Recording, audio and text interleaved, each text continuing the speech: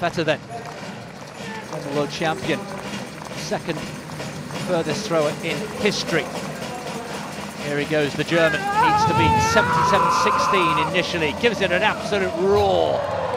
Well, that is well clear of 80 metres. That is 85 metres approaching. And if it is, that is the furthest throw of the evening so far. He's often said that trying to throw a javelin a long way is a bit like going into a casino and playing roulette. The odds, frankly, are stacked against you, getting it absolutely right. But it isn't half fun trying. And I think he's got that one pretty right.